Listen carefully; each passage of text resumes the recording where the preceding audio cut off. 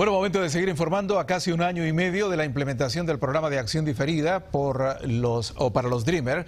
El número de jóvenes que solicitan el beneficio ha caído notablemente. Fernando Pizarro con este informe.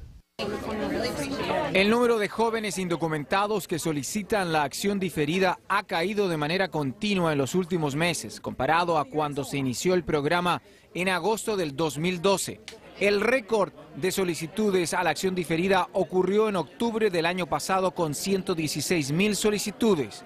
En agosto de este año, sin embargo, se llegó al nivel más bajo, con solo 14 mil.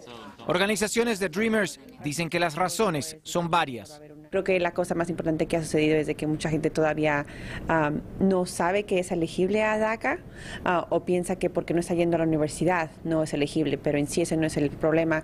Eh, lo que más importa es de que te hayas graduado de una preparatoria para poder ser elegible para la acción diferida. Entonces creo que hay un poco de mala información. Las deportaciones son otro factor que crea temor entre los jóvenes indocumentados mucha gente ahorita tiene miedo de las deportaciones. Lo que estás viendo ahorita de parte de la administración de Obama, de parte de, lo que está pasando, es puras deportaciones. Entonces sí hay un miedo. El costo de casi 500 dólares por solicitud también es otro factor que ha limitado el número total de postulaciones desde agosto del 2012 hasta ahora a solo 588 mil, muy por debajo de lo esperado.